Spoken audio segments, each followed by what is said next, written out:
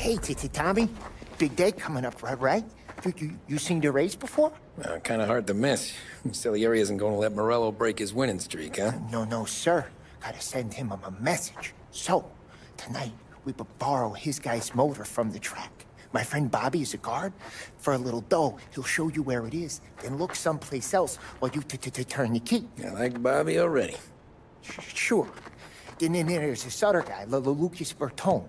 You take the car to him down under the Ju- Giuliano Bridge. He'll, you know, tune it a little. Make the race tomorrow more, more, more interesting. Then I take the car straight back, and Bobby can stop looking someplace else. Oh, but you gotta be quick. But Bobby comes off shift at 1.30, and then the next guy, he's an ass.